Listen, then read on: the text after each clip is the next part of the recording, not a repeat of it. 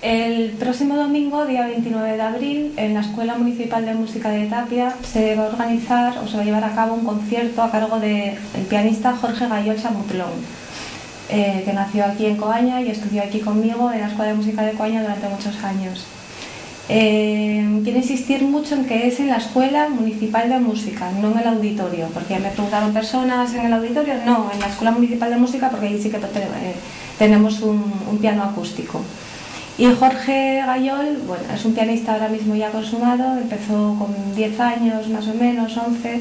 Era un niño con muchísima inquietud musical por la música, escuchaba muchísima música clásica, le llamaba la atención los grandes compositores, eh, Chopin, Liszt, todo lo quería tocar. Y algunas cosas, gracias a su tensión y interés, acababa tocándolas, efectivamente.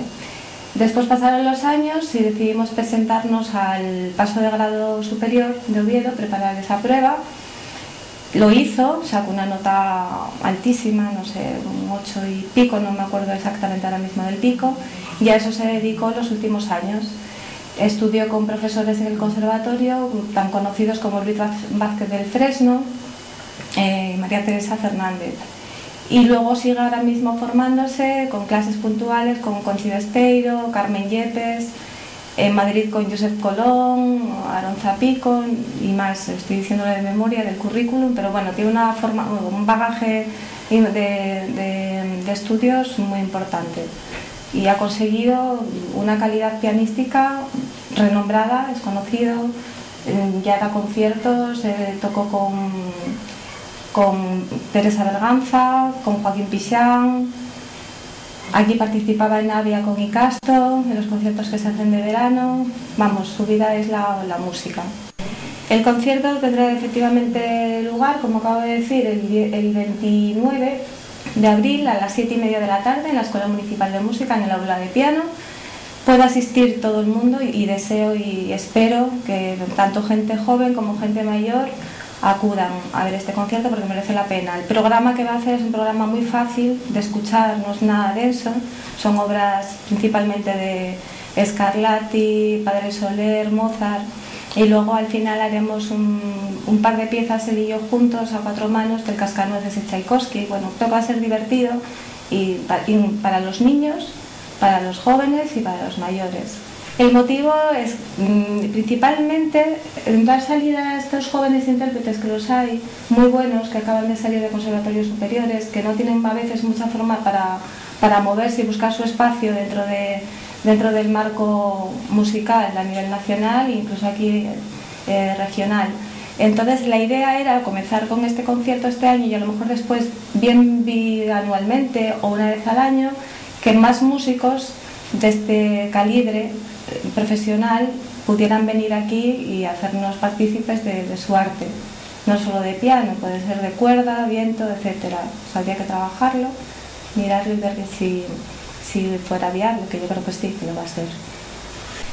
Eh, para mí es un orgullo, no solo como profesora de Jorge, que Jorge venga aquí a darnos un concierto, eh, sino también como profesora de escuela de música municipal, porque demuestra que niños que aprenden en escuelas municipales de música pueden llegar muy lejos y a veces mucho más lejos que en, otros sitios que tienen una rigidez académica más estricta, que tienen que ceñirse a los horarios, a las materias fijas, compaginándolo con un instituto, la ESO, el bachiller y la mayoría debido a esa falta de tiempo acaban dejando siempre los estudios por el camino. De esta forma, los estudios siempre son más personalizados, más dirigidos al alumno y vamos siempre los profesores adaptándonos a sus necesidades y hasta donde lleguen. En este caso llegan tan lejos como ser auténticos profesionales de un instrumento.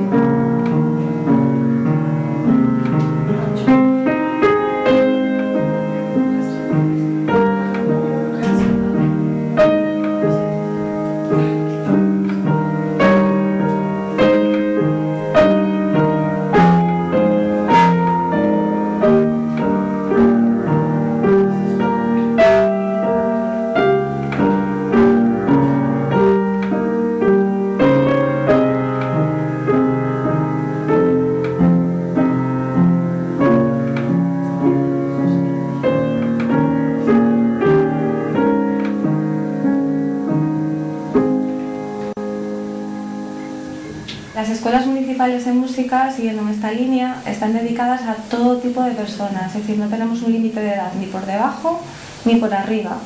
En la Escuela de Música de Coaña, que es en la que me encuentro en estos momentos, el bagaje de alumnos se reparte casi mitad y mitad entre alumnos jóvenes y alumnos adultos. Adultos, pero hablamos de edades importantes, hasta 60 y muchos.